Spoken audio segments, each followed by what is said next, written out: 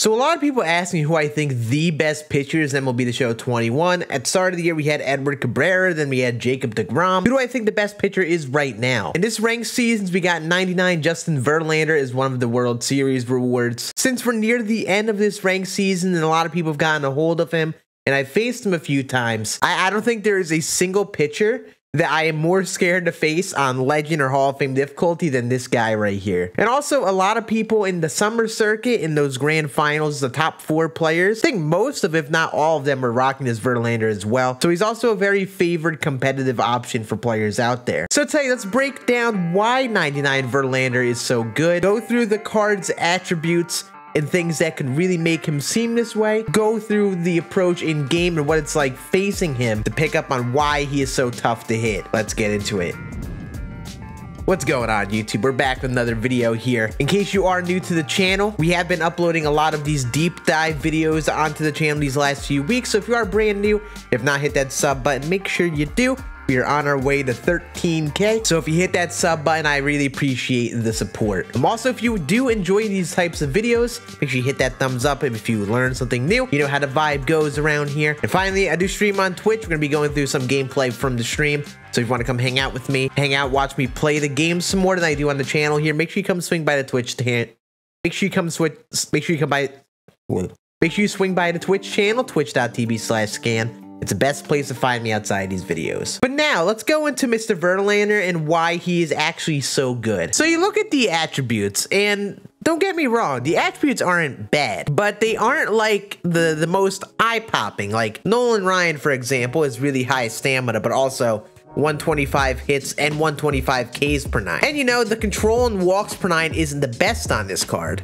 But what makes him so good is first of all that 125 hits per nine is still massive. Um, hits per nine makes that inner PCI smaller, so you're gonna be making a lot less like good contact with that smaller PCI against someone like Verlander. And while this is definitely like not the biggest deal, uh, if you're playing on Hall of Fame or Legend difficulty and you aren't the best at either of them, um, this card is going to cause fits just because of how small that PCI is in part. And this is why some people were kind of underwhelmed by 99 Pedro Martinez because he has 102 hits per nine, which isn't bad, but having up to 125 could be really big and helpful when you're playing on those higher difficulties. 115 stamina is big. He's going to stay effective and stay in games pretty long. Um, 115 is definitely up there. I think Felix Hernandez has stamina like that. Um, I don't know how he compares to some of the other guys, but that's very good stamina. The velocity and break is what takes this card to a whole nother level. So you see, first of all, he has a 99 mile per hour fastball. And if we go to our quirks, he has outlier on it. So that means that's going to hit 102 pretty consistently. 101, 102 is where he's going to sit at most of the game. I mean, he has a cutter at 95, and that's kind of big, even though the cutter doesn't have the best control or break. Um, having a second fastball type pitch,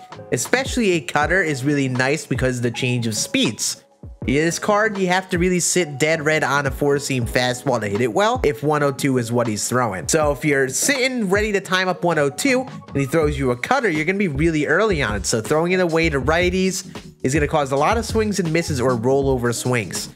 And also a cutter is really nice in comparison to a sinker because it moves horizontally to the side more than a sinker does.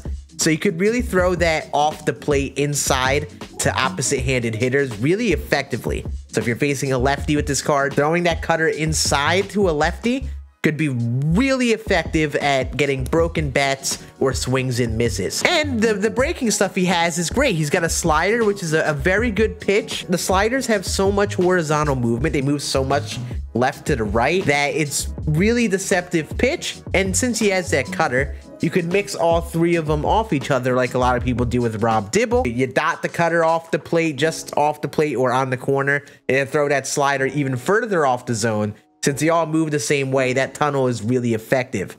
The circle change, I think, is the best changeup in the game. It's actually a very viable pitch that I don't think enough people give credit to. The circle change in comparison to the normal changeup has a lot more vertical movement. It moves downward a lot more. And the thing with the changeup that is great in comparison to the 12-6, um, the 12-6 is just more of a looping pitch. It's like, but a circle change, it kind of looks more like a fastball out of the hand for a little longer. It stays straight for a little while and just floats down, which is a really tough pitch to hit And if you're sitting on the 100 mile per hour fastballs and you get that changeup, it is so tough to slow down and hit him effectively. And obviously the 12-6 isn't a great pitch. Like a lot of people if you're on Hall of Fame or Legend, aren't going to swing at low 12 to 6 curveballs. Um, but if you do mix it in enough here and there, you can get the occasional swings and misses. It's, it's good for that purpose, but he at least has 99 breaks, so it's going to be a good pitch if you can actually get people to swing and miss on it. And then the control, obviously he's got 99 control on a fastball. This is one of those fastballs like Nolan Ryan, like Jacob DeGrom, where he's hitting 102 and he's got really nasty control on it. On the 12-6 and the other breaking stuff have great control, so he won't hang it on accident as often. And yes, the cutter does lack control and break, but just having that cutter is big. It just makes this card so much more effective. Definitely really nice to have the five pitches and one them be that second fastball. So what we're gonna do next, um, I have some gameplay from my, my channel yesterday. I faced this card. I think both times I've faced Verlander this season in ranked, I've gotten absolutely owned by him. So we're gonna go through some gameplay here. I was getting no hit by him until like the uh, the sixth inning.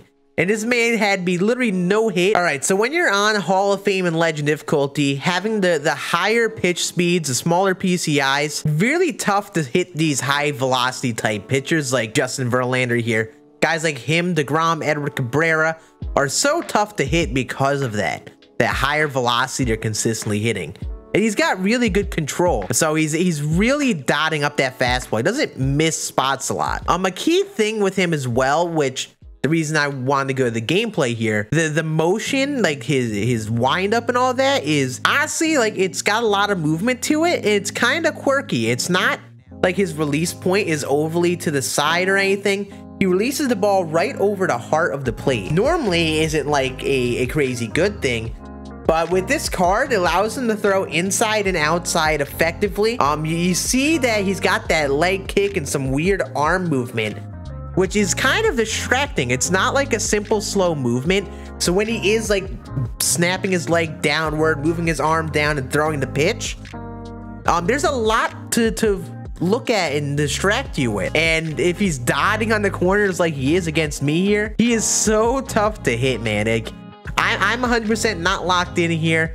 I'm not paying attention as much as I should. And he's, he's just trying to get me to swing and miss here. And He's just gonna go to some pitches like near the zone. He's gonna get me to bite. Like, look at that cutter, man. You're sitting on a fastball and waiting for a four seam. That that cutter is just impossible to hit when it's off the plate inside like that. But like, look at his motion. Look at how the pitches move in game. Even he can get away with hanging some pitches if you're just trying to crush that fastball. Like that, that circle change is filthy. That and having that circle change, the four seam and cutter and slider, like those four pitches are so insanely good for this type of pitcher. And if you're facing people who aren't great on Legend difficulty or Hall of Fame, I mean, Verlander is definitely the guy, I would say. You could have a really good pitcher that everyone likes, but a really good hitter will still hit them no matter what. But the, the main thing you want is a pitcher that could either limit those really good hitters somewhat, limit how good they actually can do, or if you're playing someone who isn't great in that difficulty, say you're making a World Series push, and you're playing someone who isn't that great at Hall of Fame difficulty, then having a pitcher who is that effective is big because this is really who struggles against these dudes. Like people who who aren't like amazing at that difficulty or whatever situation, they're gonna struggle hard. He's got different pitches at different speeds. The pitches all really good break. And it really all just plays off that high velocity fastball and cutter. Like those are the the big two pitches and my opponents kept on going inside fastballs, and I just I couldn't hit him. I couldn't hit him for most of the game. If you're facing Verlander and wondering like, what do I do to hit this card? First of all, you got to pick up on how your opponent is pitching with them. A lot of times they're going to go that fastball and cutter, either like middle inside or middle away to you, depending on which side of the plate you're on. It's they're gonna try to play you being late on that fastball or waiting for a fastball and it's expanding that strike zone on a cutter. And uh, I got a lucky hit here, but get solid PCI on a fastball. This is what got my rally going here. When you're facing a really good pitcher like this, you have to do whatever you can to, to, to get some sort of rally going. If you get any runners on, you got to do what you can to uh, to cash them in. And once I got that runner on, I just started to get really patient, take some more pitches, At this point, the, you can see he's trying to get me to expand outside of the strike zone, get me to roll it over. I'm trying to time up that fastball. I'm early on on that one, so but I'm I'm ready for the fastball. And you see, I'm just working a solid count here, waiting for that fastball. He's trying to get me to bite out of the zone and we aren't biting. And you see, like, once you get to this later part of the game, he might be trying to dot that in the corner, but just not hitting that spot as his energy is getting lower.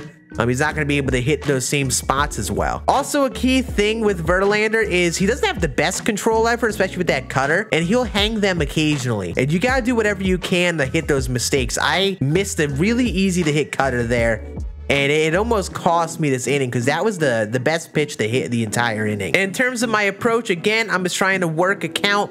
I'm not entirely taking till two strikes, but I, I'm choosing one spot in the plate and waiting for him to throw a fastball there. That's what I'm doing about now. Once you get to a two strike count, you just got to work on fouling off those pitches, staying alive.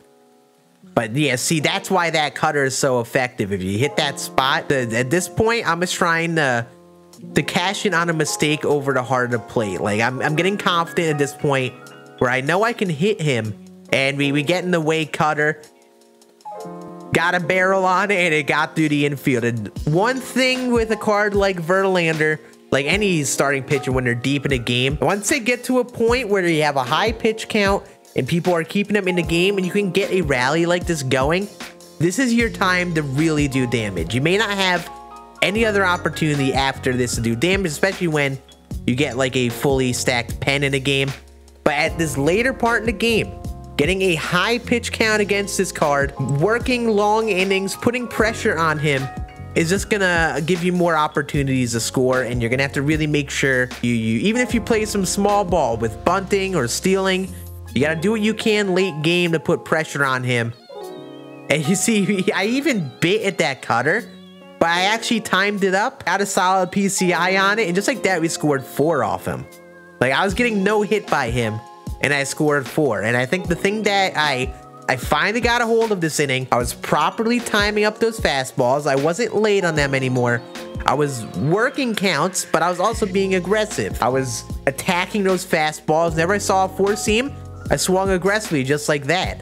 And if you're at a point where you know you're timing up these fastballs and you're not late on them consistently, that's your point where you, are comfortable at the plate. You got to be aggressive. Be ready to put up good swings against this card because if you can time up the fastball, that's where your damage is going to come. Timing up that fastball. Once you take that pitch out of the equation as often, then he has to go to the breaking stuff, and he's not going to be as effective when he has to mix up those pitches and can't go to that four seam as often. So yeah, that is going to be it for this video. Hopefully this little dive on Verlander was a help. We went through and really showed why this card is the best pitcher in the game. If you happen to disagree, if there's a pitcher you do really well with, leave in the comment section down below. Maybe we'll break down other pitchers who may not be universally liked, but go through why we can do so well or how we can do so well with certain pitchers in the game and go through different pitching metas and tips you could do as pitchers to pitch effectively with the different types of pitchers we get in the game. But that's going to be it for this video. Hope you all enjoyed. Make sure you hit that thumbs up if you did. And we'll be back again on Monday, I think, with another video back at it again. But you have a great rest of your day. I'll see you all again on the next one. Deuces.